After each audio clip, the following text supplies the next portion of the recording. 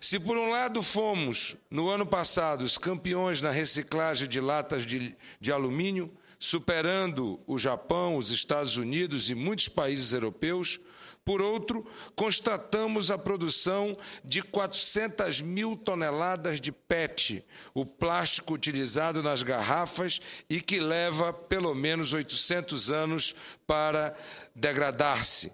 500 anos mais do que o filme plástico.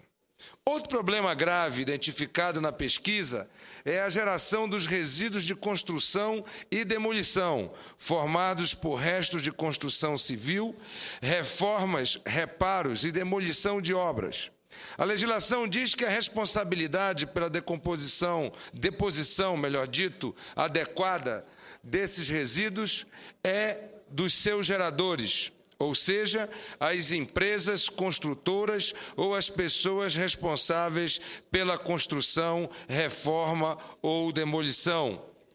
No entanto, no ano passado, os municípios tiveram que recolher das suas ruas 31 milhões de toneladas de resíduos de construção e demolição para desobstruir logradouros e evitar alagamentos. Como a matéria é regulada por legislação específica, não há no levantamento informações sobre a deposição do lixo nuclear. Mas sabemos que essa é uma questão crucial que merece toda a atenção das pessoas e instituições preocupadas com o meio ambiente. O drama vivido pelos japoneses despertou o mundo não apenas para o risco da geração de energia nuclear, mas para a disposição do lixo gerado por essa forma de produção de energia.